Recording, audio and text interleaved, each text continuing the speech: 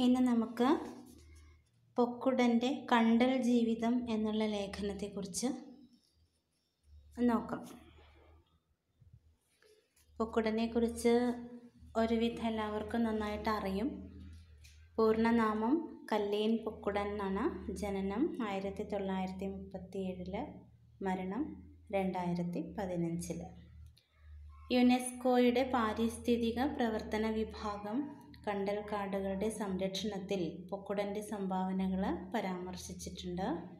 കേരളത്തിലെ പരിസ്ഥിതി പ്രവർത്തനത്തിന് തുടക്കം കുറിച്ചവരിൽ പ്രധാനിയാണ് കല്ലേൽ പൊക്കുടൻ. കണ്ടൽ വനങ്ങൾ എന്ന് പറഞ്ഞാൽ പ്രകൃതിയുടെ ശ്വാസകോശങ്ങൾ എന്നറിയപ്പെടുന്നവയാണ് കണ്ടൽ വനങ്ങൾ അവ സംരക്ഷിക്കുകയും അവ നശിപ്പിച്ചാലുള്ള ഭവിഷ്യത്തുകളെപ്പറ്റി ബോധവൽക്കരണം നടത്തുകയും ചെയ്തിരുന്ന മലയാളിയായ ഒരു പരിസ്ഥിതി പ്രവർത്തകനായിരുന്നു പൊക്കുടൻ. പൂർണനാമം കല്ലേൻ പൊക്കുടൻ എന്നാണ്. ബാക്കിയൊക്കെ നമ്മൾ പറഞ്ഞത് തന്നെയാണ്. സമ്പൂർണ സാക്ഷരതയുടെയും പ്രകൃതിയെ പറ്റിയുള്ള നിരക്ഷരതയുടെയും വൈരുദ്ധ്യതയിൽ നിന്നാണ് ഈ വ്യക്തി ഈ ഒരു സാധാരണ വ്യക്തി സാമൂഹികമായി പിന്നോക്കാവസ്ഥയിലായിരുന്ന ഒരു രണ്ടാം ക്ലാസ്സുകാരൻ പ്രകൃതിയെക്കുറിച്ചും അതിന്റെ സംരക്ഷണത്തെക്കുറിച്ചും സംസാരിക്കുകയും ക്രിയാത്മകമായി പ്രവർത്തിക്കുകയും പോരാടുകയും ചെയ്തത്. നിസ്വാർത്ഥനായി പ്രകൃതിയെ സംരക്ഷിക്കുക അതിനായി തനിക്ക് ചെയ്യാൻ കഴിയുന്ന അത്രയും ചെയ്യുക. ഇതായിരുന്നു പൊക്കുടന്റെ ആപ്തവാക്യം. ഭൂമിയെ സംരക്ഷിക്കേണ്ടത് ഓരോ പൗരന്റെയും കടമയാണ്. തിരഞ്ഞെടുത്ത സർക്കാരിന്റെ ബാധ്യതയാണ് എന്നൊക്കെ നമ്മുടെ പൊക്കുടൻ നമ്മെ ഓർമ്മിപ്പിക്കുന്നു. ഈ ഒരു പേരിന് പൊക്കുടൻ എന്നുള്ള പേരിന് കാരണം എന്താണെന്ന് അദ്ദേഹം തന്നെ പറയുന്നത് ജനന സമയത്ത് പൊക്കുഴക്കൊടി കൊടി വീർത്തിരുന്നത് കൊണ്ടാണ് അത്രേ പൊക്കുടൻ എന്നുള്ള പേര് അദ്ദേഹത്തിന് ലഭിച്ചത്. മാത്രമല്ല അദ്ദേഹത്തിന്റെ സമുദായത്തിൽ അന്ന് വലിയ അഭിജാത പേരുകളൊന്നും ഇടാനുള്ള ഒരു പാടില്ലായിരുന്നു. അങ്ങനെയുള്ള ഒരു സമുദായത്തിൽ പുലയ സമുദായത്തിൽ ജനിച്ചിരുന്നത് കൊണ്ട് അത്തരത്തിലുള്ള പേരുകളൊന്നും തങ്ങൾക്ക് ഇടാൻ പാടില്ല എന്നുള്ളതും അദ്ദേഹത്തിന്റെ ഒരു കാര്യമായിരുന്നു. പ്രധാന കൃതികൾ പറയുന്നത് എന്റെ രാഷ്ട്രീയ ജീവിതം ആത്മകഥയാണ്. കണ്ടൽ കാടുകൾക്കിടയിൽ എന്റെ ജീവിതം ഡി സി ബുക്സ് പ്രസാദനം ചെയ്ത ഈ പുസ്തകം ഏറെ ചർച്ച ചെയ്യപ്പെട്ടിട്ടുണ്ട്. എന്റെ ജീവിതം ഒക്കുടന്റെ മകൻ ശ്രീജിത് പൈതലൻ എഴുതിയതാണ് ചൂട്ടാച്ചി കണ്ടൽ ഇനങ്ങൾ ഏതൊക്കെ തരം കണ്ടൽ ഇനങ്ങളുണ്ട് എന്നുള്ളതിനെ കുറിച്ചിട്ടും പൊക്കുടന്റെ ജീവിത വഴികളെക്കുറിച്ചും അറിവുകളെക്കുറിച്ചും മറ്റൊരു പുത്രനായിട്ടുള്ള ആനന്ദൻ എഴുതിയിട്ടുണ്ട്. പുരസ്കാരങ്ങൾ ഒരുപാട് പുരസ്കാരങ്ങൾ അദ്ദേഹത്തിന് ലഭിച്ചിട്ടുണ്ട്. അറുപതോളം ചെറുതും വലുതുമായിട്ടുള്ള പുരസ്കാരങ്ങൾ ലഭിച്ചു. പ്രധാനപ്പെട്ടവ പറയുന്നു.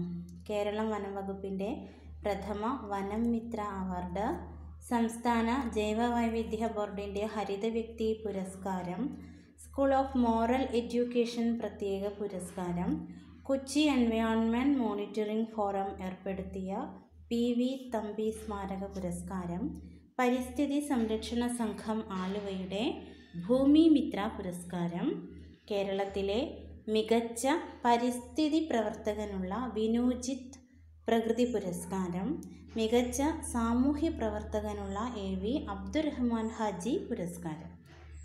പിന്നെ കേരള ബാലസാഹിത്യ ഇൻസ്റ്റിറ്റ്യൂട്ടിന്റെ ജീവചരിത്രത്തിനുള്ള പുരസ്കാരം കണ്ണൂർ സർവകലാശാല ആചാര്യ പുരസ്കാരം ടൈംസ് നൗ ചാനലിന്റെ അമേസിംഗ് ഇന്ത്യൻ പുരസ്കാരം ഇതൊക്കെ അദ്ദേഹത്തിന് ലഭിച്ചതാണ്.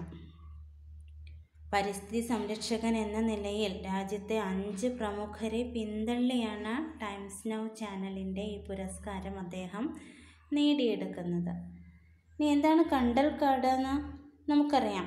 അഴിമുഖങ്ങളിലും ചതുപ്പുകളിലും കായലോരങ്ങളിലുമൊക്കെ വളരുന്ന വൃക്ഷങ്ങളും കുറ്റിച്ചെടികളും അടങ്ങുന്ന സങ്കീർണമായ ഒരു ആവാസ വ്യവസ്ഥയാണിത്. കണ്ടൽ മരങ്ങളും അവയുടെ കൂടെ വളരുന്ന കണ്ടലിതര സസ്യങ്ങളും ഈ പ്രദേശങ്ങളിൽ ഇടതിങ്ങി വളരും. പുഴയും കടലും ചേരുന്നിടത്തുള്ള ഉപ്പ് കലർന്ന വെള്ളത്തിൽ അതായത് അഴിമുഖങ്ങളിൽ വളരുന്ന ഇവയെ കണ്ടൽ ചെടികൾ എന്നാണ് വിളിക്കുന്നത്. വേലിയേറ്റ സമയത്ത് ഇവയിൽ വെള്ളം മൂടി ജലാവൃതമായിട്ട് കാണപ്പെടും. വേലിയിറക്ക സമയത്ത് അന്തരീക്ഷത്തിൽ പൊങ്ങി നിൽക്കുന്നതായിട്ടും കാണാം. ഇന്ത്യയിൽ ആറായിരത്തി എഴുന്നൂറ്റി നാൽപ്പത് ചതുരശ്ര കിലോമീറ്റർ പ്രദേശത്ത് ഇവ കാണപ്പെടുന്നു എന്നാണ് നമ്മുടെ ഒരു കണക്ക്.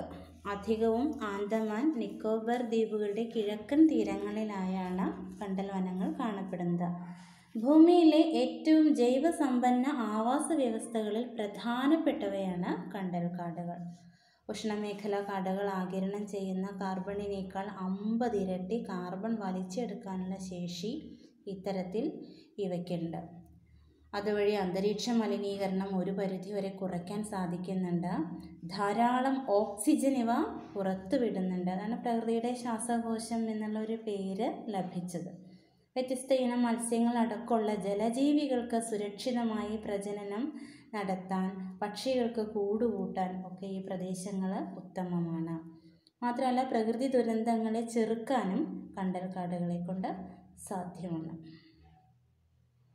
കേരളത്തിൽ കല്ലൈൻ പൊക്കുടൻ കണ്ടൽക്കാടുകളുടെ സംരക്ഷണത്തിനായി പ്രവർത്തിച്ച ഒരു ഈ ഒരു വിഭാഗം സസ്യങ്ങളെ സംരക്ഷിക്കാനായി മാത്രം യത്നിച്ച ഒരു വ്യക്തിയാണ് നമ്മുടെ പൊക്കുടൻ. ഇത്തരം കണ്ടൽക്കാടുകളെ റിസർവ് വനമാക്കി മാറ്റി ഇന്ത്യയിലെ ആദ്യ സംസ്ഥാനം പശ്ചിമ ബംഗാളാണ്. ലോകത്തിലെ ഏറ്റവും വലിയ കണ്ടൽക്കാടുള്ളത് ഇന്ത്യയിലാണ്. ഇതൊക്കെ നമ്മൾ ആധികാരികമായിട്ട് അറിഞ്ഞിരിക്കേണ്ട ചില കാര്യങ്ങൾ ചില കണ്ടൽ ചിത്രങ്ങളാണ് കാണുന്നത്. ഭ്രാന്തൻ കണ്ടൽ പി കണ്ടൽ എന്നൊക്കെ അറിയപ്പെടുന്നത്. കണ്ണൂർ ജില്ലയിൽ കാണപ്പെടുന്ന ഒരു തരം കണ്ടലുകൾ അവയുടെ പൂക്കുലകൾ ഒക്കെയാണ് അപ്പോൾ ഇതിൽ കാണുന്നത്. നമുക്ക് പഠിക്കാനുള്ള പാഠഭാഗം ഇതാണ്. കണ്ടൽ ജീവിതം കണ്ടൽ പൂക്കുലന്റെ കണ്ടൽ ജീവിതം എന്നുള്ള പാഠഭാഗം. അപ്പോൾ ഇതിന് വേണ്ടിയിട്ട് നമ്മൾ വായിക്കേണ്ടത് അദ്ദേഹത്തിന്റെ ആത്മകഥ തന്നെയാണ്. കണ്ടൽ ജീവിതം എന്നുള്ള ആത്മകഥ വായിക്കുക. മിഥുൻ തയ്യാറാക്കിയ ഡോക്ടർ മിഥുൻ കെ എസ് തയ്യാറാക്കിയ ഒരു ചെറിയ പഠനക്കുറിപ്പ് മാത്രമാണ് ടെക്സ്റ്റ് ബുക്കിലുള്ളത്. അപ്പോൾ ഇതിന്റെ പ്രത്യേകത എന്ന് പറയുന്നത് അധികം അറിവും വിദ്യാഭ്യാസമൊന്നും ഇല്ലെങ്കിലും പരിസ്ഥിതി സംരക്ഷിക്കപ്പെടണം എന്ന നല്ല ബോധ്യമുള്ള ഉത്തമ ബോധ്യമുള്ള അവയെ ആരൊക്കെ എങ്ങനെയൊക്കെ സംരക്ഷിക്കണം എന്നതിനെക്കുറിച്ച് മനസ്സിലാക്കിയ നമുക്ക് അതിനെക്കുറിച്ച് അറിവ് തരുന്ന ഒരു പുസ്തകം തന്നെയാണ്. അത് കൃത്യമായിട്ട് വായിക്കുക അതിനെക്കുറിച്ചിട്ടുള്ള കാര്യങ്ങൾ നമ്മൾ കണ്ടെത്തുകയും ചെയ്യാം. ഇത്രയാണ് ഈ പാഠഭാഗത്ത് പ്രധാനമായിട്ടും ചെയ്യാനുള്ളത്. പ്രകൃതി എന്ന് പറഞ്ഞു കഴിഞ്ഞാൽ കാടും മലകളും പുഴകളും മാത്രമാണ് എന്നുള്ള ഒരു തെറ്റിദ്ധാരണ നമുക്കൊക്കെ ഉണ്ട്.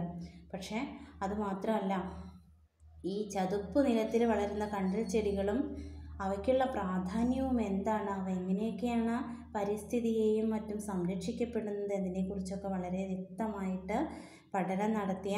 അല്ലെങ്കിൽ പഠനം നടത്തുന്ന അതിനെക്കുറിച്ച് മനസ്സിലാക്കിയ അറിവ് ശേഖരിച്ച് അത് സമൂഹത്തിലേക്ക് എത്തിക്കാൻ നമ്മൾ നേരത്തെ പറഞ്ഞു. വലിയ സാമൂഹികമായിട്ട് പിന്നോക്കാവസ്ഥയിലും വിദ്യാഭ്യാസപരമായിട്ടും പിന്നോക്കാവസ്ഥയിലായിരുന്നിട്ട് പോലും അദ്ദേഹത്തിന് സാധിച്ചു. അപ്പോൾ അത്തരത്തിൽ സമൂഹത്തിൽ വളരെയധികം സമാദരണീയനായി തീർന്ന ഒരു വ്യക്തിത്വമാണ് നമ്മുടെ കല്ലിൽ പൊക്കുടൻ. അപ്പോൾ അദ്ദേഹത്തെക്കുറിച്ച് കൂടുതൽ അറിയാൻ ശ്രമിക്കുക. അദ്ദേഹത്തിന്റെ പുസ്തകം വായിക്കുക. അത് വായിച്ചു കഴിഞ്ഞാലേ നമുക്ക് ഈ ലേഖനത്തിലേക്ക് എത്താൻ സാധിക്കുകയുള്ളൂ. അപ്പോൾ അത് വായിച്ചതിന് ശേഷം നമുക്ക് ക്ലാസ്സിലേക്ക് വരാം. അപ്പോൾ നിങ്ങൾക്കുള്ളൊരു വർക്കായിട്ടിരിക്കട്ടെ. വായിച്ചതിന് ശേഷം അടുത്ത ക്ലാസ് നമുക്ക് ആരംഭിക്കാം. ഓക്കെ?